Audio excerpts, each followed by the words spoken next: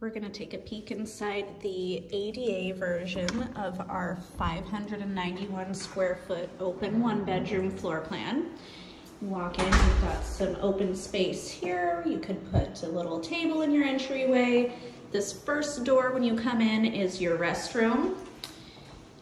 Lots of space in here, beautiful countertops, large bathtub.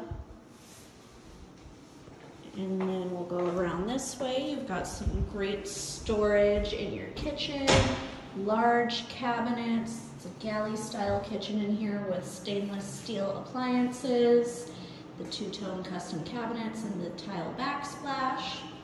Take a little back up here. In the hallway, we have our washer and dryer. This is a little bit different in this floor plan. So you have full-size side-by-side washer and dryer. And then we'll come around this way. And you have sliding glass doors to your bedroom area. What's cool in the ADA version of the floor plan is these open up all the way so you can have your bedroom wide open if you want to.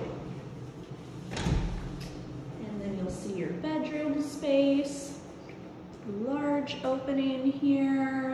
Doors are open all the way. Go in, you've got the closet in the bedroom. You've got some shelving that wraps around the side there. And then we'll head out this way to the living room. Large open living room space with lots of natural light. This one has a beautiful view with the trees outside your window, so it feels like you're nestled into the woods.